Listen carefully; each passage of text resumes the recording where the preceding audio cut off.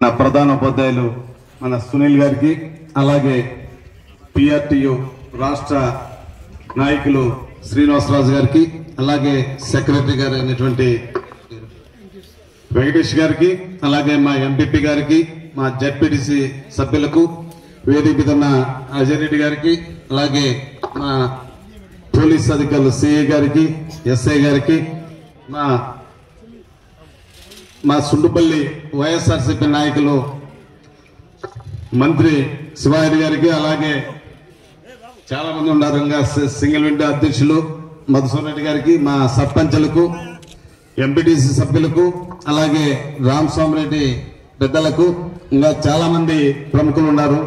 అలాగే పాత్రికేయులకు బాలబాలికలకు ఈ యొక్క క్రీడాకారులకు అందరికీ కూడా పేరు పేరున ధన్యవాదాలు తెలియజేస్తూ రాష్ట్ర స్థాయి ఈ యొక్క పోటీలు జరగడానికి కారణం మనకి ఇక్కడ సుండుపల్లిలో ఉన్నటువంటి పీఈటీ మాస్టర్స్ అయితేమి ప్రధాన ఉపాధ్యాయులు అయితేమి ముఖ్యంగా వారికి వెనక ఉండి నడిపించిన మన శ్రీనివాసరాజు గారు అయితే మీకు అందరికీ కూడా ధన్యవాదాలు తెలి- తెలియజేస్తున్నాను.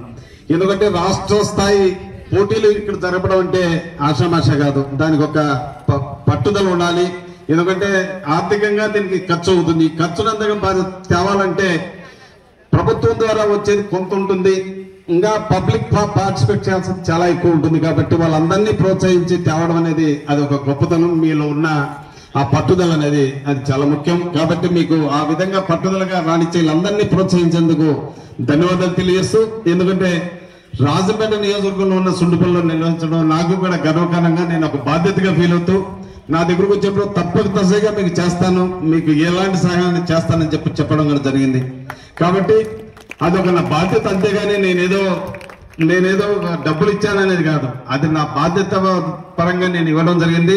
కానీ దాని వెనక నుండి నడిపించిన మా వైఎస్ఆర్సీపీ నాయకులు మా సుండుపల్లి నాయకులు చేసి వారు ఎంతమంది ఉండి పేరు తెచ్చేందుకు వారికి ధన్యవాదాలు తెలపాలి తప్ప నా కోసం కాదు. డబ్బులు ఇవ్వడం గొప్ప కాదు. ఆ పని చేసి నిర్వహించడం గొప్ప. కాబట్టి నా తరఫున వారికే గొప్పతనం అంతా వారిది. మా వైఎస్ఆర్సీపీ నాయకులు రా సుండుపల్లి వారికే. కాబట్టి బాలబాలికలు ఈరోజు ఇదొక మంచి చదువు ఎంత ముఖ్యమో ఈ క్రీడలు కూడా అంతే ముఖ్యం. కాబట్టి క్రీడలు రాణిస్తే చదువు ఆటోమేటిక్గా చదువు కూడా వస్తుంది.